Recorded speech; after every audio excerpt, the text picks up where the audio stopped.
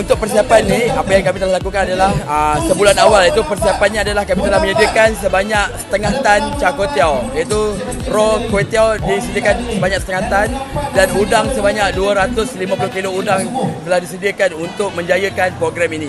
Okay, antara cabaran yang kami hadapi ketika ingin menghasilkan rekod ini adalah kami of course yang nombor satu adalah kami ke, ke, kekurangan tim tim di dalam bahagian kitchen itu kami terpaksa melatih tim baru dalam masa sebulan untuk menjayakan program ini.